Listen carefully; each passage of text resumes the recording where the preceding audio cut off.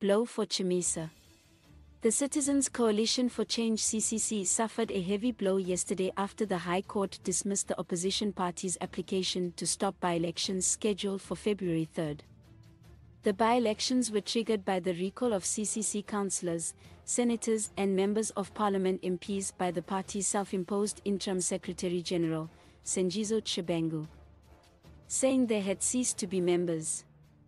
Tshabangu said the recalled lawmakers should not contest on the CCC ticket. Speaker of the National Assembly, Jacob Mudenda, acted on the recalls resulting in the Zimbabwe Electoral Commission ZEC initiating electoral processes to fill the vacant seats.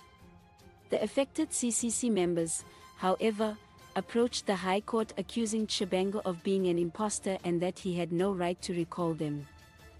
CCC Senator Jameson Timba and his colleagues sought an order declaring that the Speaker of the National Assembly acted out of order. Their application was opposed with Mudenda and Senate President Mabel Chinomona stating that the seats had indeed fallen vacant after they received recall notices from Tshabangu. Mudenda and Chinomona said the High Court had no jurisdiction to hear the matter because the issue had already been settled after they played their role upon receiving the recall letters.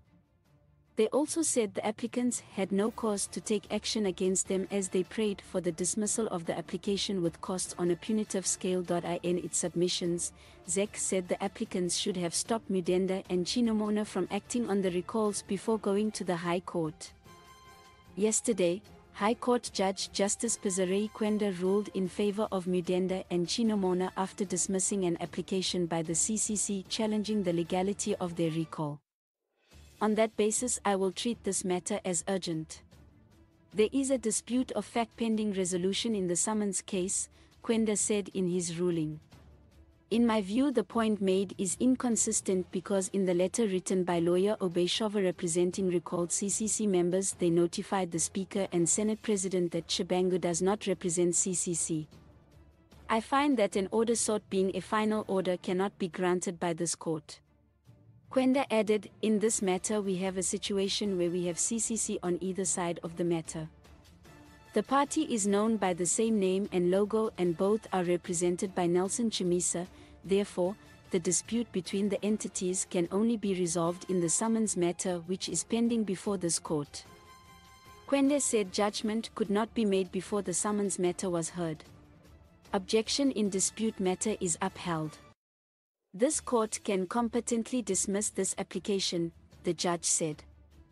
Applicants were reckless in filing this application while aware that this dispute was pending resolution in the summons matter.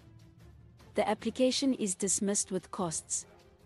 The case was supposed to be heard on Wednesday but was postponed after the CCC sought to be joined to the proceedings.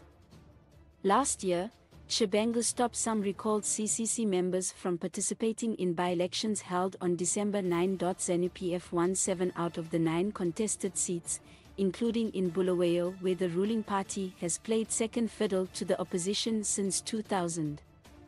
On Wednesday, a ZANU-PF member, filed an application at the High Court seeking to stop recalled CCC Mkoba MP Amos Chibaya from contesting in the upcoming by-elections. The application was similar to that of Tshabangu where he sought to bar CCC's 23 candidates from contesting pending polls.